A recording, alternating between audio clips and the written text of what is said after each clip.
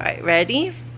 Say hello and welcome to today's video. Today is our August update for our graveyard project pan. graveyard! This is the second update. Um, we're gonna try to film with her in my lap because I just think it might be kind of fun.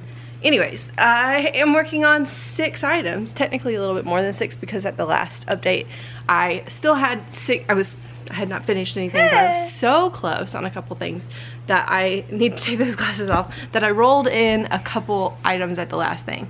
So, so today's update is a bit more exciting. Let's start with the ones that are not that exciting. Um, my foundation, I've made a ton of progress on, but as you can see, or we still have a good bit left. You know, this probably is gonna take me the remaining like two months of the year to finish that up. Um, another one that's not super exciting, is there one? Actually, I feel like the rest of them are pretty like exciting. So we'll go into things that I finished. I was very close on my little Benefit bronzer mini and oh, you're, you're coming from behind. Hold on. she started to attack the camera from behind. Anyways, we finished that and so I have rolled in this guy here. This is a Too Faced bronzer that I have had in previous project before and did not hit pan on it. My goal is to just hit pan on this so that one is replacing my other bronzer. Then we have, what else do we? Then we do the rabbit. Uh-huh. Then we have highlighter. I was working on my ColourPop um, highlighter just to hit pan and as you can see there we have a nice pan so I'm gonna put in yet another ColourPop highlighter that I've had in a project before that I did not hit goal on and that's this guy here my Cruella highlighter from ColourPop and then also don't mind her messy hair would you touch that? Did you touch that camera? I'm trying like a curly hair thing with her and I don't know it's just she's such a rough player and rough sleeper that her hair just gets like which I kind of think is cute. Anyways, uh, concealer. Finished my concealer from Tarte, and as you see, like, completely took out stopper. It's done.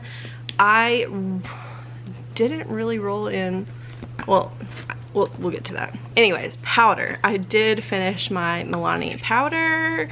Um, that in the middle is just like residue, so that's not actually powder. So that's done. I did at the last update, this is my Laura Mercier loose setting powder, and I am, I, I moved the like sifter out of it, so this will more than likely take me the entire two months to use up as well because I just use so little when I use it.